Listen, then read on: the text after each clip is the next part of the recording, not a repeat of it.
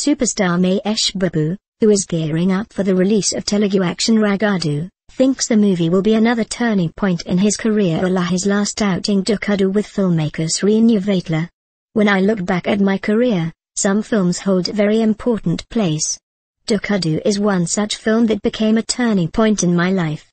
Now, I'm certain that Aagadu will be another turning point at this crucial juncture of my career, Mahesh told media.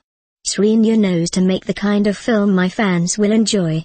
The success of Dookudu is proof to his caliber, he said. Aagadu, which is slated to release September 19, also features Tamannaah Bhatia, Sosud, Rajendra Prasad and Brahmanandam in important roles.